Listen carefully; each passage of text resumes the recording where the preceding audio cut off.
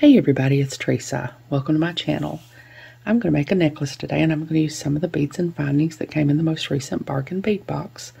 The one from March 2024. It's called the Seafoam Sunrise Collection. I'll put a link in the corner of this video and in the description box below to the unboxing video I did for this subscription in case you want to watch it where I go over everything that came in the box. I have a coupon code. It's Teresa2 and I'll put it on the screen here and in the description box below, along with a link to the page to sign up for the subscription if you're interested. The coupon code will save you $2 off your first box if you sign up. This is just a really great value box, and their boxes are always so beautiful, and I thought this one was particularly beautiful. uh, in here, I've got the 8 millimeter fl uh, matte flower Amazonite beads that came in the box. And here I've got the 8 by 6 millimeter crystal faceted rondelles that came in the box, and it was a peaches and cream mix. And I love these so much. I love them so much that I went on their sister's site when they put their extras up for sale, and I bought three more strands of them. So I've got a lot of these. Uh, in here, I've got the 8 millimeter Amazonite beads that came in the box, the not matte ones. And here I've got the 3 millimeter faceted round Amazonite beads that came in the box. And here I've got the 10 millimeter matte agate beads that came in the box. I've got the spacer beads that came in the box. I've got some larger spacer beads from my stash that I'm going to use around these bigger beads. I'm going to use these 11.0 uh, topaz colored seed beads to space out the beads. I've got some findings in here. I've got two of the chandelier components that came in the box. Got a lobster clasp, some 4 millimeter jump rings, one 8 millimeter jump ring, three, no, six wire guardians, and six 2 by 2 crimp tubes. A couple of pieces of the chain that came in the box. I have a larger a piece of chain from my stash that has a little bit larger links in it that I'm going to use to uh, as an extender. Got a lobster clasp. I've got one of the rondelles that I'm going to hang off the extender as a dangle, and I've got a head pin to do that with. I think that's everything that's in there. I'm going to be using my Softflex beading wire in fine, and this is 21 strand, and it's a copper color. Uh, I've got my bead stoppers. I'm going to be using my chain nose pliers, my tweezer pliers, my round nose pliers, both pairs of my bent chain nose pliers, both pairs of my crimping pliers, both pairs of my cutters, I'll be using my flat nose pliers just a little bit to open the extender chain uh, at the end when I put the little dangle on it. And I've already used my memory wire cutters to cut my chain. I think that's everything. Uh, I'll try to put links to everything I can find links for in the description box below, everything that didn't come in the box. Oh, and I've got my little New Orleans shot glass that I'm going to put my wire in when I cut it off. He'll be mad if I leave him out and don't introduce him. He's getting full. I'm going to have to empty him. so hold on, let me get some of this out of the way and I'll get started. Okay, I'm ready to start here now. And this is going to be a three strand necklace. So I've already strung up my longest strand and I'm going to show you what it is. And then I'm going to crimp it. And then I'll just do the other two. I'll string them up and crimp them off camera and then I'll show you what they are when I get that done. So, uh, I've got 11 O's between all the beads except for the ones here in the at the focal part. So I've got 11 O's between all the beads. I've got one of these brown rondelles with a bead cap facing it. Uh, one of these matte flower Amazonite beads. Another brown rondelle with a bead cap facing it. Uh, when I I think when I went over my materials, I called these bead caps spacer beads, but obviously they're bead caps. and then I've got an 8 millimeter Amazonite bead. And then I've got one of these sort of peach colored rondelles with a bead cap facing it. And then another Amazonite bead, another peach colored bead with the bead cap facing it and opposite the way this one's facing here. Then another Amazonite bead then I've got one of the 10 millimeter matte uh, agate beads with some of my bead caps around them. An Amazonite bead. And then I have three of the matte agate 10 millimeter beads with bead caps around them, but I don't have any 11 O's between these. And then I have an, uh, on this side, I just have this same thing that I have on this side. I've just mirrored uh, this side is exactly like that side. So now I'm going to crimp it around the end of it here. There it is. Okay. So I'm going to take my crimp tube and put it on here.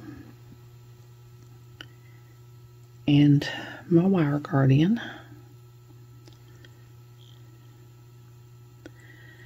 I'm gonna go down the other channel of my wire guardian. Back into my crimp tube. I hold my wires apart so they don't get crossed. Because when we crimp, we want both of the wires. Now I've lost track of it. I think it's crossed in there. We want both wires to land in their own little individual channel, and it won't do that if they're crossed. So I'm going to hold my wires apart. I'm going to take my uh, crimping pliers. I'm going to use that part that has the tooth. And I'm going to lay my tooth on top of my crimp tube.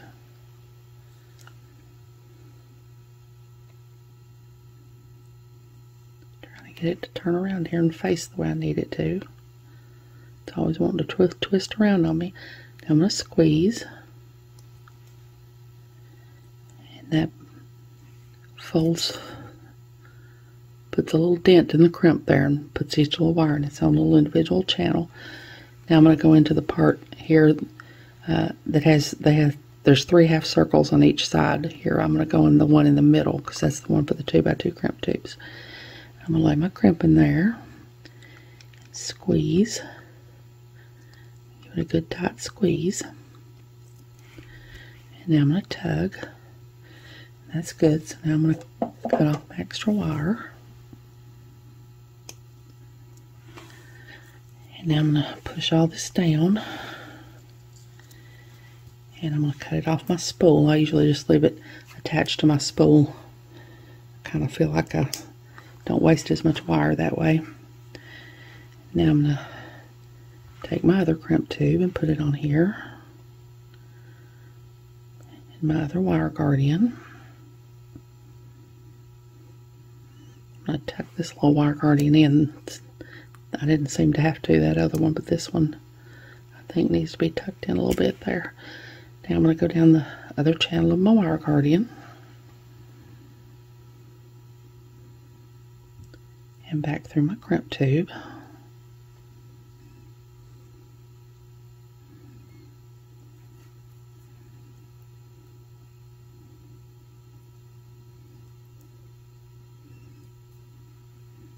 get it through there. I'm missing my crimp tube. There we go. And on this side, I try to go through a bead to get my hands out of the way and uh, to center that my wire guardian over the last bead if I can. There's one of these strands that I'm one one of my strands is going to be entirely just those little tiny three millimeter beads and seed beads and there's no way I'll be able to get back through one of those so I won't be able to do that on that one but I try to if I can so that I can get my hands out of the way and center my wire guardian over that last bead. I'll try to keep my wires from being crossed. I want to get through this bead and this bead cap.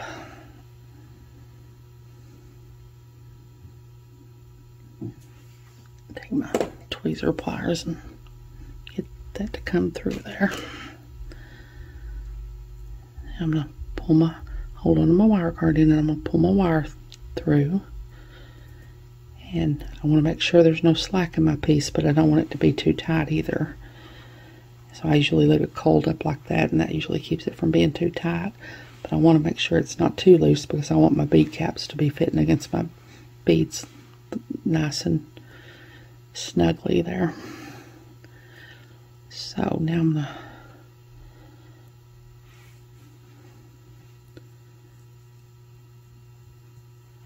Sometimes you need about 12 hands to do all this. I'm going to take my crimping pliers again and use the part with the tooth. Lay the tooth on top of my crimp bead or crimp tube. I'm going to squeeze. Now I'm going to turn it and go on the part with the half circles again and squeeze again.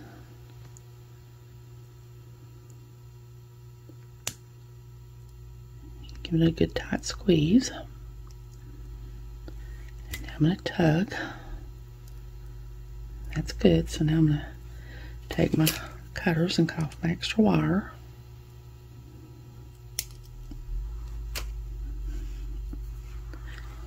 So that's going to be my longest strand. So hold on and I'll get the other strands done and when I come back I'll show you what the pattern is with the beads and everything and then we'll put it all together. So I'll be back. Okay, I've got all my strands made now and this strand is going to be my next to longest strand. It's going to be in the middle. And I've got, uh, it's all just the 3 millimeter faceted beads and seed beads. So I've got three of the 3 millimeter beads, a seed bead, one of the 3 millimeter beads, and a seed bead. And I've got that repeated four times. And then I've got five of the 3 millimeter beads, a seed bead, one 3 millimeter bead, a seed bead, seven of the 3 millimeter beads, a seed bead, one 3 millimeter bead, a seed bead, five of the 3 millimeter beads, a seed bead, one 3 millimeter bead, a seed bead, and then I have my three 3 millimeter beads with one repeated four times on this side, just like on the other side. And then my shortest strand, uh, I have seed beads between all the beads, and I have one of these uh, sort of half brown and half kind of uh, opal colored rondelle with a bead cap facing it, one of the flower amazonite beads, three of those same kind of rondelles with bead caps on either side of them, another one of the flower amazonite beads, and then I have five of these uh, kind of opaque uh, I don't really know what color that would be. Maybe a little bit darker peach. I'm not sure. I've got bead caps around the ones. I've got bead caps around this one, no bead caps around this one, bead cap around this one, no bead caps around this one, bead caps around this one. And I don't have any seed beads between this section. And then on this side, I just have the same exact thing that I have on this side that I've just mirrored it. And this strand, after I crimped it and put my wire guards and everything on, it came to just a tiny bit over nine inches. And this one is about seven and a half inches. And this one is a tiny bit over six inches. I try to usually put about an inch and a half between when I do a multi-strand uh, necklace. So now I'm going to put it together. I've got my chandelier components here. And I got some 4 millimeter jump rings. And I'm going to just take a jump ring. Well, I think some of these jump rings are not the same size. I got these out of a, yeah, some of these jump rings are a little bit bigger. I'll have to, hold on, let me get some more jump rings. I, uh, several, uh, one box last year we had copper findings in it and it had a, a mix of different sizes of jump rings and I got this these out of them and I think I must have got them mixed up because that's obviously bigger than I thought they were all the same size but they're not. Hold on let me get some more jump rings and I'll be back. Okay I've got some more bead caps out here now. I know these are all the same size because I pulled I got these out of my stash not from that other box. So I'm going to open one of these 4 millimeter jump rings thread on my longest strand. Try to keep a hold of it.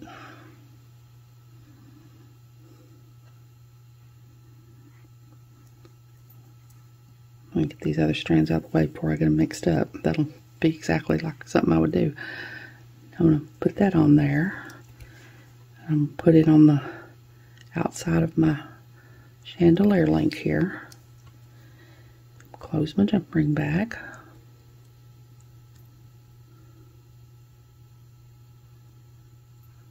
to get it closed back really well. Now I'm going to do the same thing on this other side.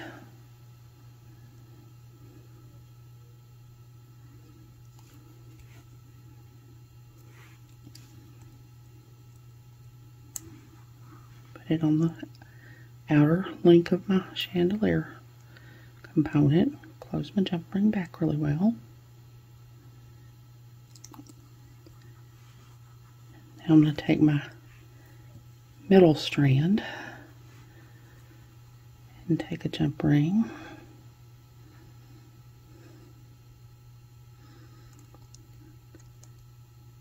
Open it up, put it on here, thread it onto the, well, thread it onto the middle part of my component.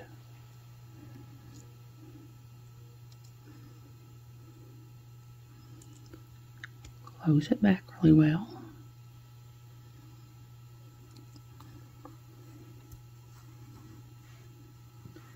Do the same thing on this side.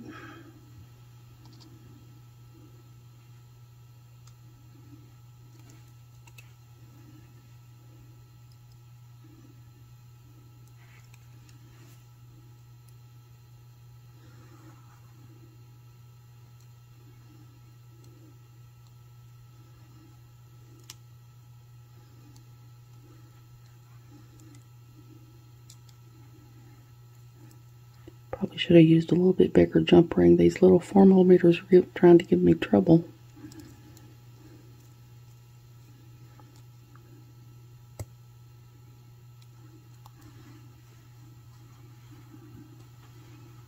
Okay, now I'm going to take my shortest strand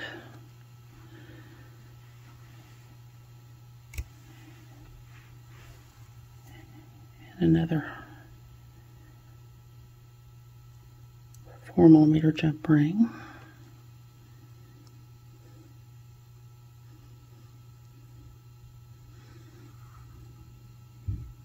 I'll try putting it on the component this time first and see if that helps.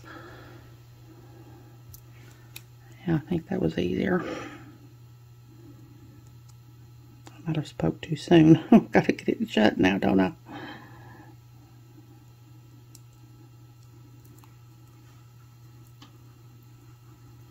Okay, now I'll do this on this other side.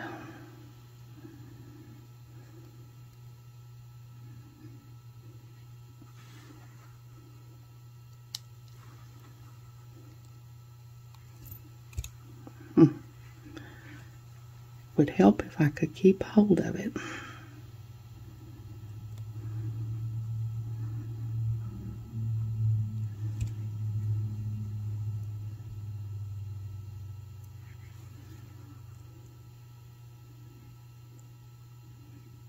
Okay, close that back. Now, lay this out here and make sure I've not got anything twisted, and I don't think I have. So now I'm going to put my chain on. I've got a couple of pieces of chain. These are about five inches each. This is the chain that came in the box.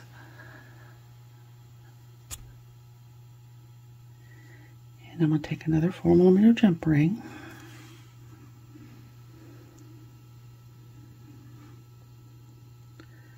Open it up. Put my chain on.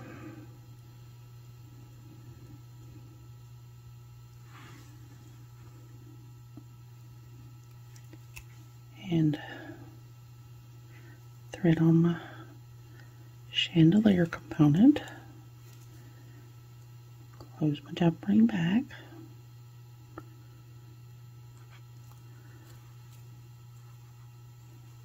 And you want to make sure to get these uh, chandelier components facing the same way because they're not double-sided. They're different on the back. So now I'm going to take another 4 millimeter jump ring.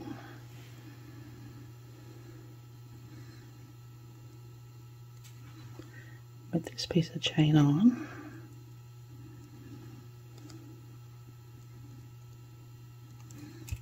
Thread it onto this one.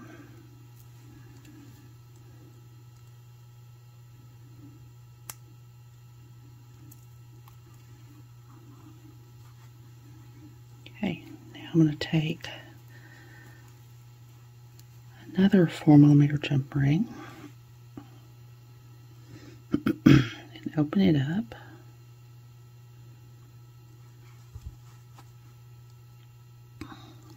put it on this end of my chain and put on my lobster clasp.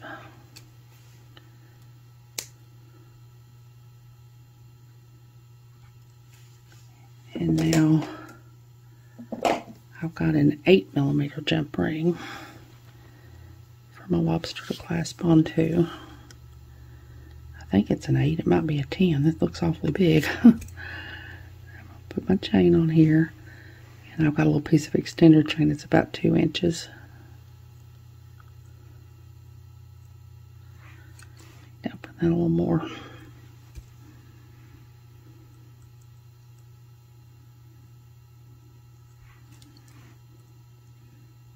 It back.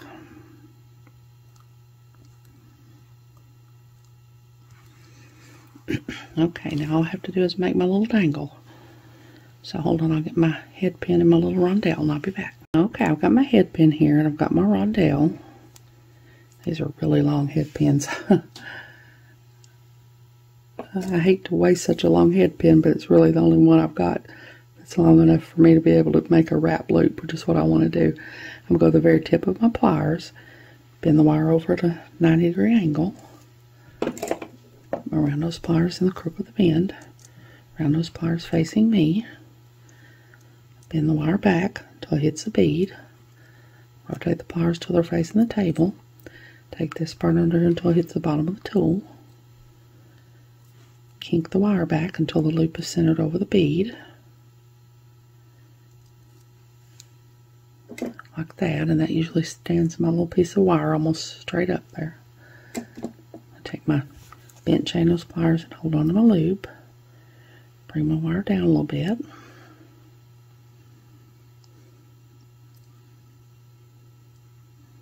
This head pin's so long I can probably wrap this with my hand. I don't know though, it's pretty stiff. I better, probably better use my other pair of bent chain nose pliers. To wrap and make sure to get that first wrapping under the bottom of the loop, not over the top of the bottom of the loop. I'm just going to wrap till there's no more room to wrap. Now I'm going to take my cutters, and I use a different pair of cutters for craft wire, craft wire and head pins and eye pins than I do for bead string and wire. Now I'm going to take these crimping pliers, and I use the little half circles on each end to tuck in the burrs when I cut off wire.